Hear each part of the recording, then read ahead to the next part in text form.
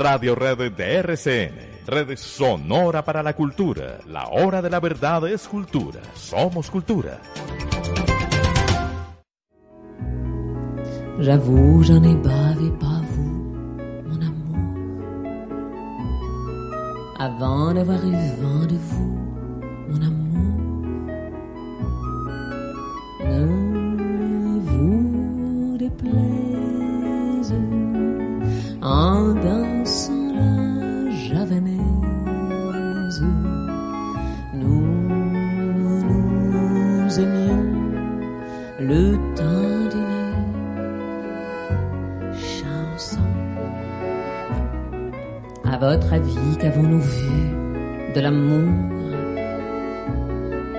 De vous à moi, vous m'avez eu, mon amour? Ne vous déplaise en dansant la javanaise.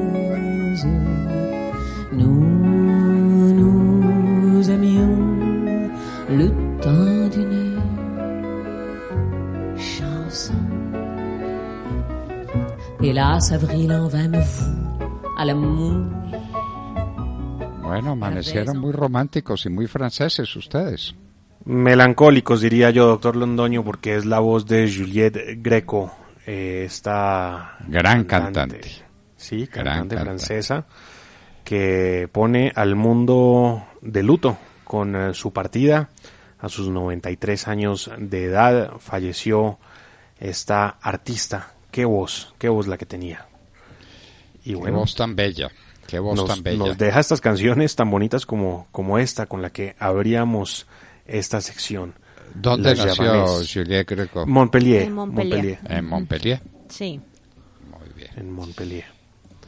Una gran Entonces, pues, cantante, indiscutiblemente, una de las más grandes cantantes a la- al nivel de Edith Piaf o, Sí. de, o de Nana Moscuri, que es otra gran cantante en francés, no siendo sí. francesa. La, chanson, ¿no? El, el género.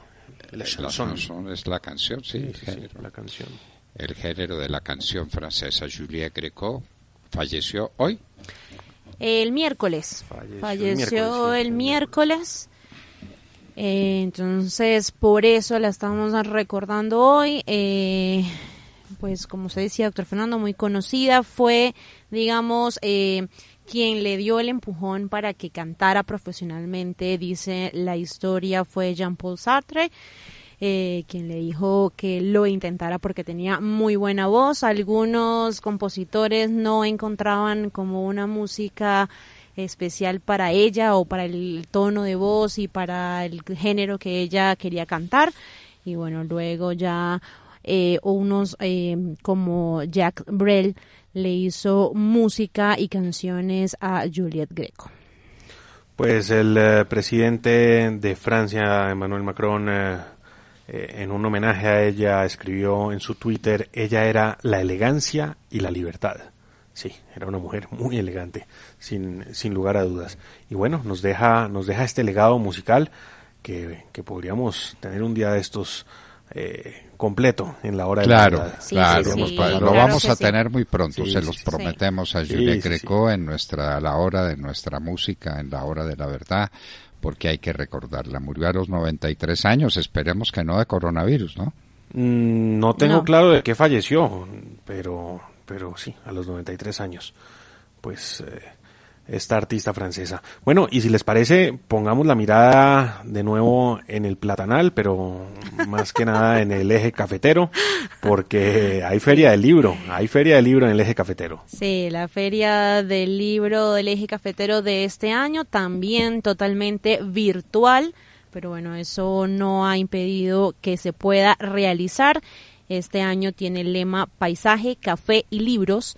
Esto un poco en homenaje a la región. Van a participar librerías eh, tanto de Pereira como de Armenia como de Manizales para que durante los eventos que serán transmitidos en las redes sociales de la feria la gente pueda adquirir sus libros y se los envíen a la casa. Igual conversatorios, presentaciones de libros, franja infantil, hay de todo tipo de actividades en esta feria que, como les dije, deben eh, estar pendientes de las redes sociales porque a través de Facebook, YouTube, Instagram, Twitter estarán transmitiendo todos los eventos.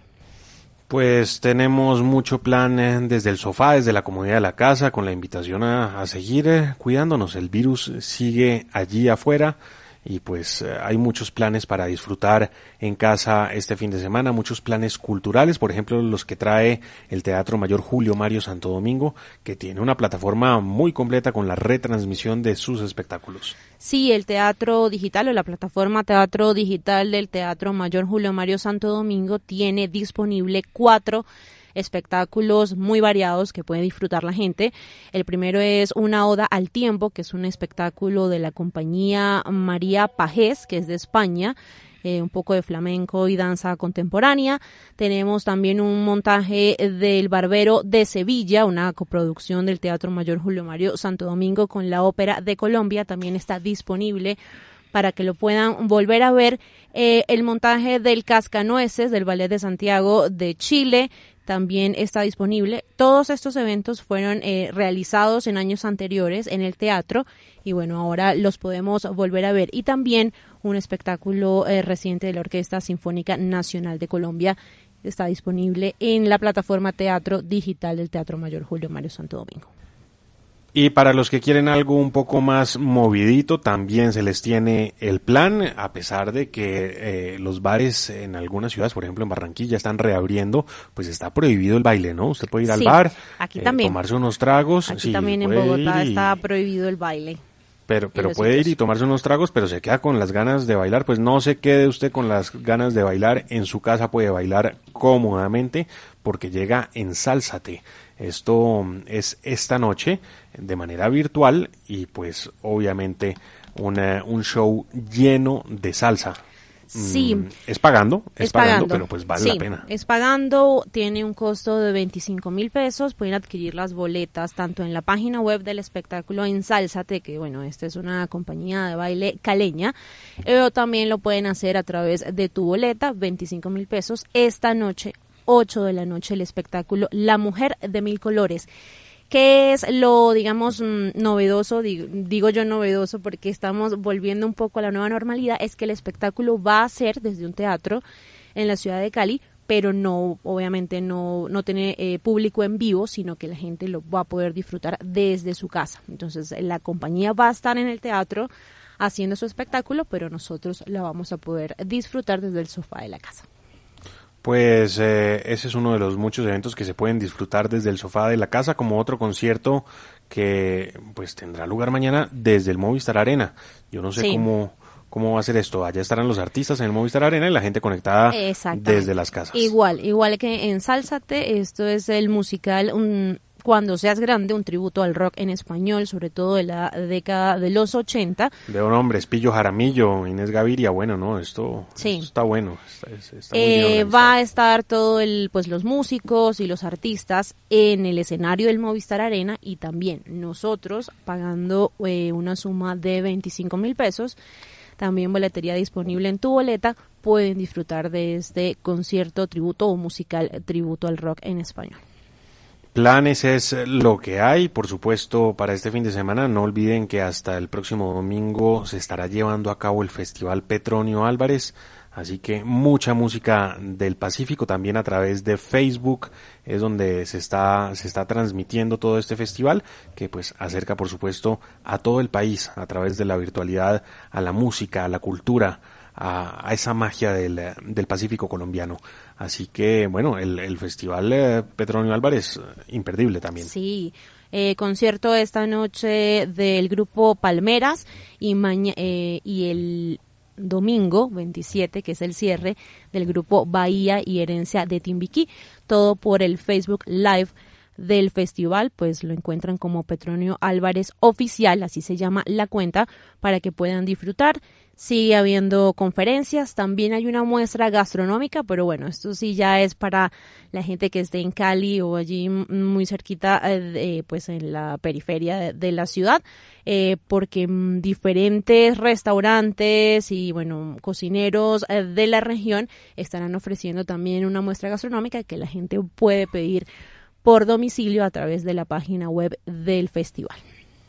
Pues eh, yo creo que de falta de planes la gente no se puede quejar, es eh, la nueva normalidad, es la vida en medio de la pandemia, en esta virtualidad, con muchos planes, conciertos, para estar en casa, para estar tranquilos, para estar en casa, además con la ventaja de que termina, termina el concierto, usted simplemente apaga el computador, apaga la televisión y se mete en la cama sin tener que preocuparse ni por el parqueadero, ni por el frío, ni por nada.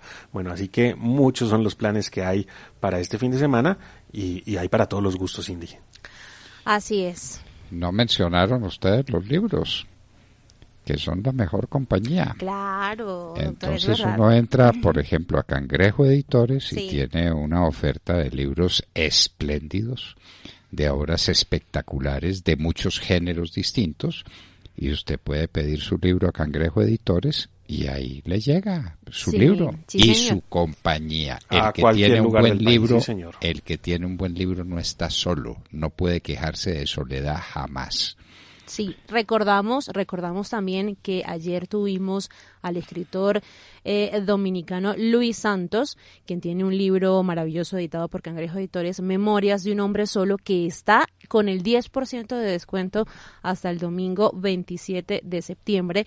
Entonces, quien ayer quedó entusiasmado, que no logró eh, ganarse uno de los ejemplares que eh, pues aquí en la hora de la verdad dimos de obsequio, pues puede entrar a la página y comprar el libro con un 10% de descuento. Pues eso es lo que tenemos en cultura, libros por supuesto, esos los damos por descontado, además porque los oyentes de la hora de la verdad son buenos lectores y eso nos lo demuestran siempre a través de, sus comentarios en las redes sociales, bueno, siempre que entramos en contacto con nuestros oyentes demuestran el nivel cultural que tienen. Muchos planes, muchos planes para este fin de semana, el eh, lunes haremos un balance de cómo transcurrieron los mismos. Todo en cultura en la hora de la verdad, 8 de la mañana, 43 minutos.